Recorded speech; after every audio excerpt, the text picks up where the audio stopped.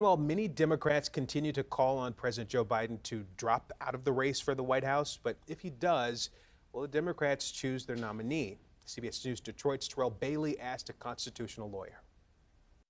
Questions about the president's ability to lead the Democratic Party in this year's presidential race continue. If Biden were to drop out of the race, it creates a new push for a candidate.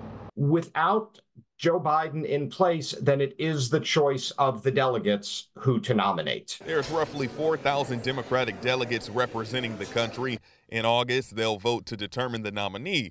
Right now, it's expected to be President Biden. If he were to step out, it becomes open season. There could still be a, a fairly large number of candidates who are either nominated or pursuing the nomination. Vice President Kamala Harris wouldn't immediately get the votes. With the president's support, I'm told it could sway delegates. But if she isn't chosen as the nominee, it could prove tricky. Black voters will be very, you know, upset about that. Women would be upset about that.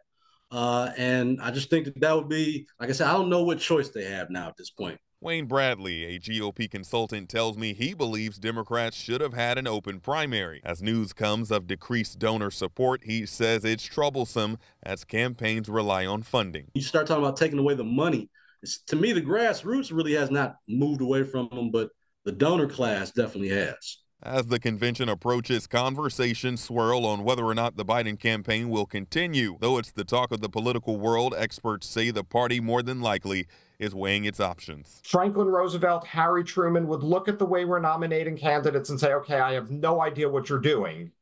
So um, it's it's unprecedented in modern time, but we have been in this kind of situation before.